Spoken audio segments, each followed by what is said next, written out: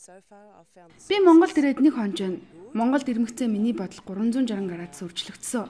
Би Монгол улсыг арай өөрөөр төсөлж байжээ. Их хурдцтай өвчж байгаа юм байна. Улаанбаатар хотын гудамжаар явж байгаа хүн бүрийг харахад тайван амар амгалан жаргалтай харагдсан. 6 сарын өмнөөс би Монгол руу аялна гэдэг төлөвлөгөөгөө гаргаж байлаа. Өнөөдөр ингээд Монгол оронд ирээд байгалийн сайхныг бишрээд аялсан нь тааламжтай байна.